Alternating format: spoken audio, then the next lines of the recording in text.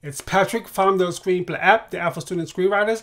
Every week I list five Academy Award nominated Best Original Screenplays and the winner. Then you let me know if the Academy got it right or wrong. For 2007, the nominees for Best Original Screenplay were Michael Clayton, The Savages, Juno, Ratatouille, and Lars and the Real Girl. And the winner was Juno. Tell me, did the Academy get it right or wrong on this one? If you think they got it right, then I need to know why do you think they get it right? Did you read the screenplay Juno? Did you love it? Did you see the film? Is that the reason you think they got it right? If you think the Academy got it wrong, which one of those screenplays that you thought should it be Juno? If you don't know the story about Juno, it's a very, very unique story. It was written by Diablo Cody, which is she was a, a worker at a gentleman's club. She just decided to write a screenplay, which was Juno. That's the short version of her story you could tell the screenplay was fresh when you read it. It just felt so the voice, right? I think that's one of the things that everybody talks about when they read this screenplay or when they talk about the film Juno together. It just has a unique voice. I think that's one of the things the Academy look for is a unique voice.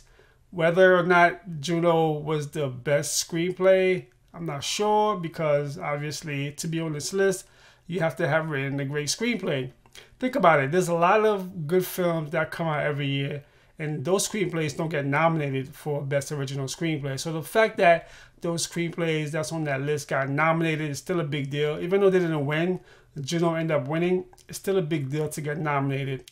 Which one of those screenplays did you read? If you didn't read any of them, then let me know. I may be able to share some of them or all of them with you. If you read some of them, let me know which one you read. And out of the ones you read, let me know which one you think should have won Best Original Screenplay. If you've seen all the films, then based off the films, which one do you think deserve Best Original Screenplay? If you didn't see any of those films or read any of those screenplays, then I would question your answer here because I want you to be able to really, really decide if the Academy got it right or wrong by reading those screenplays. Let's talk about some of the screenplays on the list. Michael Clayton, which I believe is based on a true story, which I'm surprised because the Academy usually favors stories based on true events. So this surprised me a little bit.